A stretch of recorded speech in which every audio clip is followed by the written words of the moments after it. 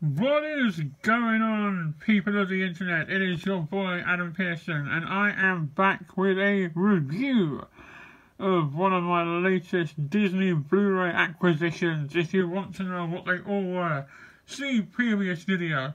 And while you're here, don't forget to like, comment, and subscribe.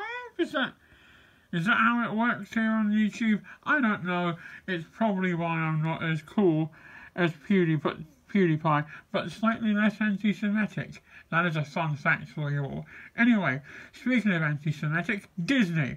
Uh, Lilo and Stitch, first time I've seen it, 16 years old, I'm late to the party, and all I can say is, love it, love it, love it. This is, by far, the most underrated Disney film that not many people know about, yet everyone should know about. It is adorable, both main characters are likable. The um the older sister taking care of the younger one because of their parents passing is just so heartwarming.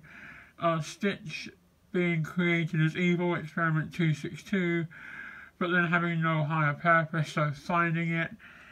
The the bit where he finds the storybook of the ugly duckling and and relates to it is just ah, it's so all well put together and so well thought through.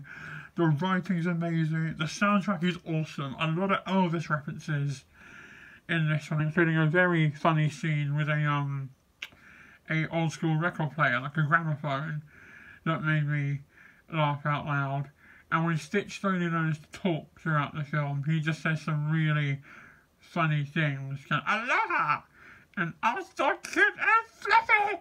And, oh, it's, it's so good. I don't want to go into any more because I'll, I'll spoil it for people. This is like a solid, solid 8.5 out of 10 to me. This is up there with Aladdin, The Little Mermaid. It's in that bracket. It's no Lion King, don't get me wrong, but it's close.